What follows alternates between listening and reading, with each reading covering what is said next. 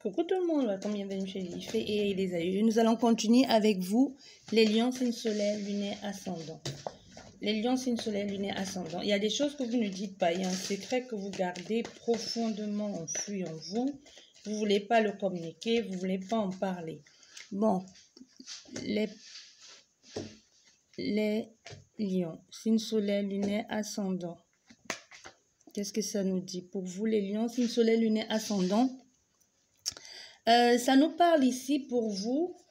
Derrière, nous avons le stress, hein, la perte, la préoccupation, euh, l'angoisse aussi. Vous êtes rongé, préoccupé par une situation euh, qui vous met mal à l'aise.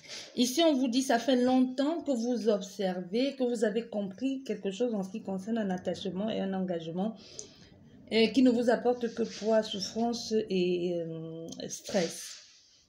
Il y a des choses ici, ça fait longtemps que vous êtes resté, que vous êtes emprisonné là-dedans.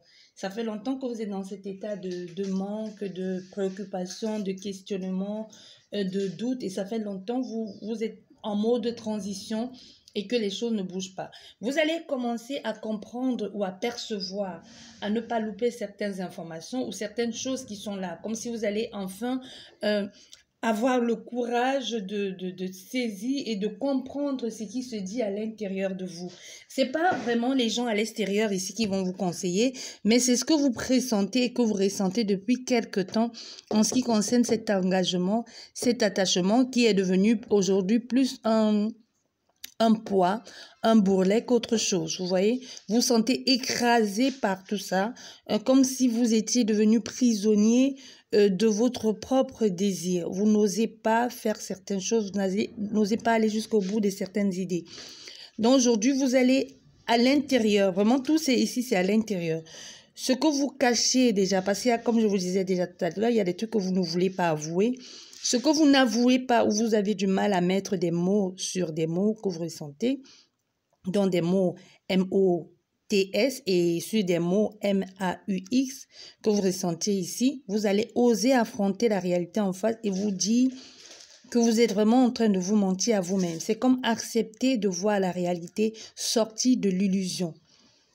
Tu vois, on sort ici de l'illusion.